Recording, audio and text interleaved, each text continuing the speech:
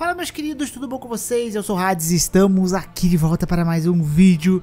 E no vídeo de hoje eu quero mostrar uma arma aqui da DLC que eu estou utilizando, estou testando, estou achando extremamente boa, forte e ela tem um visual extremamente do bacana aí que é uma Armona de pedra gigante, tá? A gente vai falar sobre ela, como pegar ela e a melhor build para essa belezura e o porquê que ela é tão boa. Então, antes de mais nada, deixa seu like, se inscreve no canal, clica aqui na descrição para você concorrer ao Playstation 5 e vem comigo pro vídeo. Este vídeo é oferecido pela Global Cards. Os melhores games e gift cards para Xbox você só encontra aqui. Se você quer gift cards com 5% de desconto, por exemplo, de Xbox, você consegue aqui. Diversos jogos também com desconto na Global Cards tem. E também você pode conseguir o seu Game Pass Ultimate aqui na Global Cards. Então, clica aqui na descrição e vá conhecer a loja imediatamente. Bem, a arma que iremos usar é a espada grande de minério meteórico antigo. Belo nome, né, meu amigo? Essa armite aqui, ela tem uma escala B com força, né? Então você vai utilizar uma build de força para ela.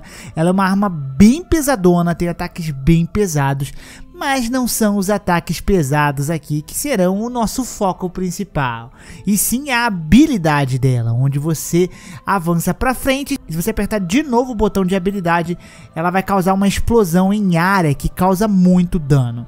Além disso, o que faz isso aqui ser muito bom é que isso aqui quebra a postura de uma forma bem legal, então inimigos normais você vai consequentemente derrubar eles muitas vezes no chão, o que vai ser momento ali para você conseguir ficar spamando isso aqui quando você pegar de jeito ali o inimigo, você ficar spamando igual um louco, o inimigo vai tomar dano, vai ficar caindo no chão o tempo todo.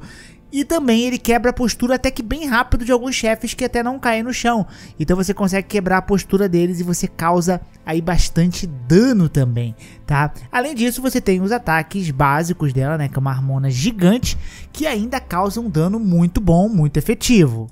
Então, no geral, ela é uma espada muito boa, muito da maneira e excelente para vários tipos de situações. Ela também né, acerta em grupos ali, então se tiver grupos de inimigo amontoado, você vai acertar. Ele vai empurrar os inimigos, então se tiver inimigos na ponta, eles podem cair também. Então são de deveras e deveras situações aí que essa arma aí é útil, né? Você tá vendo aí que eu enfrentei a Renala, o Mesmer com ela e estou no NG+, né, no level aí 160 mais ou menos, e eu consegui passar desses chefes até com uma certa folga foram poucas tentativas aí, graças a essa harmona aí, esse trambolhão, tá? Ela é bem fácil de pegar e a gente vai pegar ela quase que no início do jogo, tá? Você precisa ter passado a Rilana, né? Então eu enfrentei a Rilana porque droparam ela pra mim, né? Mas antes disso você talvez não vá conseguir usar, né? mas ela ainda é bem efetiva para os próximos bosses, claro, né? Então depois de você derrotar a Rilana, né, você vai chegar na cruz da estada principal e aí você vai descer aquele caminho onde você vai chegar aqui na forja em ruínas da chuva estrelar. E é nessa forja que a gente vai pegar essa arma, né? Só toma cuidado porque você pode talvez perder ela de vista. Você vai progredir nessa forja, né? Você tem que puxar a primeira alavanca dali e aí você vai abrir uma portinha. Depois você vai encontrar uma escada onde você vai chegar num outro, na segunda parte, onde você tem que puxar uma outra alavanca. Só que presta bem atenção aqui, porque quando você puxar a alavanca, a porta vai descer ali e no corredor à direita vai ter uma outra alavanca que vai fechar a porta de novo. Então você vai puxar essa alavanca e você vai correr e ficar em cima da porta ali enquanto ela levanta. Quando a porta levantar, né, você vai ter acesso à fornalha desta área aqui, e aí você vai pegar este trambolhão de pedra maravilhoso aí, mais 10, cara. Muito bacana, muito braba, uma belíssima arminha que tem um excelente potencial aí pra gente brincar com ela, né? Então vamos a build, o que que vamos utilizar e quais são as melhores alternativas para ela. Como é uma espadona grande, se puder, mano, taca uma armadura pesada aí pra você ficar style, mano. Tem que ficar style, mano. Pesadão com armadura leve não combina pra mim. Enfim, é, eu estou utilizando o arsenal do grande jarro aqui para poder ter uma boa carga de peso, mas dependendo, né, se você já tiver, você pode trocar isso aqui para aquele que aumenta o poise, né, que são dos chifres, ou para algum de negação de dano. Esse aqui é bem opcional e pode ser muito situacional, tá? Os outros três eu achei bem bacana de utilizar. O primeiro aqui, nós temos o fragmento do Alexander, que como a gente vai spamar a habilidade disso aqui, o fragmento do Alexander, como sempre, ele é muito útil nas nossas builds, né? Você pega fazendo a quest do Alexander. Nós temos aqui o talismã de escorpião mágico, que ele aumenta o ataque mágico, mas você toma um pouco mais de dano, né? Esse talismã você pega fazendo a quest do Celovis antes de você entregar a daga pra Rani. Se você já entregou a daga pra Rani por algum motivo e tal, talvez você não tenha esse talismã, então você pode ter perdido ele.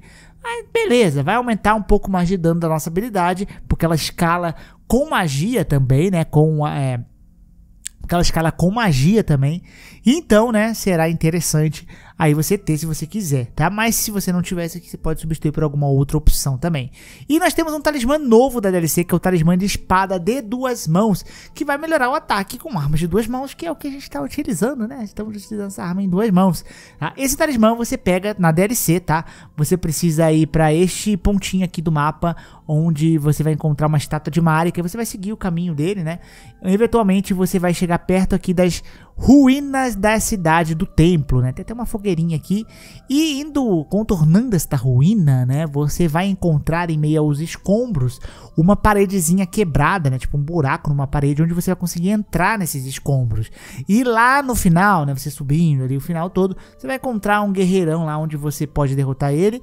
E aí, mais pra frente, você pode... Dá pra correr também, mas enfim, mais pra frente você vai encontrar ali um baú com esse talismã. E aí você tem esse talismãzão aí e a nossa build completinha aí dessa nossa arma, né? Só relembrando que os status que eu estou utilizando, né, ela escala muito mais com força, né, pouco em arcano e destreza. Então, eu recomendo você colocar mais em força, mas também ele escala um pouco bem até com arcano, né? Então, dependendo se você já tiver, sei lá, com muita força, sei lá, 60, 70, pode colocar um pouquinho arcano e testar para ver se ela tá dando uma escala legal, tá? Porque o arcano também dá uma um level upzinho legal no dano dessa arma. E basicamente é isso, meu povo.